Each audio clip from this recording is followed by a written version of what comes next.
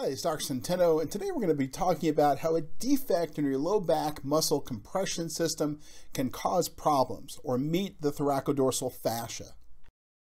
So you've likely seen athletic compression gear. The idea is that compressing the muscles can make them stronger and more efficient. Now, we humans didn't invent that idea. In fact, that idea has been around for a long time. Uh, the concept is that the fascia covers the muscle and by doing by adding compression into the muscle, it makes those lengthwise.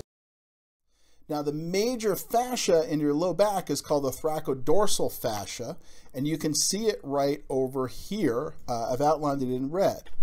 And I've outlined it in red here. We're going to be talking about the posterior layer or the back layer of the fascia right there.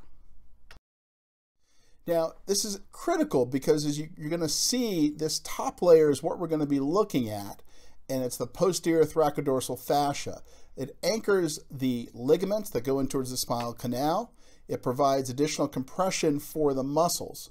And it ends up connecting force between your legs and your arms. So it's a critical anchor uh, because muscles connect into it that connect those two areas.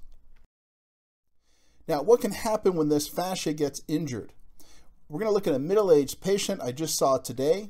He had two failed laser spine surgeries on the right, and right at the L4-5 level, he's got chronic pain right where the incision is off on the right.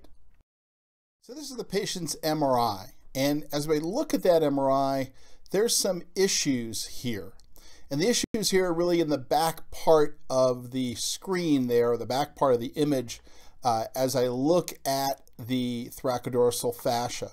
So I'm going to outline in red here where this thoracodorsal fascia is, and it should be a continuous solid line, but you see this little pooch out that happens right there, which is a problem. So this pooch out in the thoracodorsal fascia is an issue. Now that's on the sagittal. We can see it on the axial image here. On the good side, we see a nice, gentle so under ultrasound, on the good side, we can see that nice contour here on ultrasound where the muscle is contained by the thoracodorsal fascia up here. On the bad side, we see this step off. So you try to trace the muscle and then it steps off and goes up here. So we're going to see that now actively as the person lifts their leg and contracts these muscles. So again, uh, I'm going to show you here active ultrasound imaging as the person is contracting. So on the good side, you can see that the muscle is contained by that thoracodorsal fascia. On the bad side, we can see that the muscle pooches out right there uh, where I'd drawn it before in the white dashed circle. So the muscle is pooching out. So in conclusion, the thoracodorsal fascia is a critical structural connection uh, can be damaged with injury or surgery.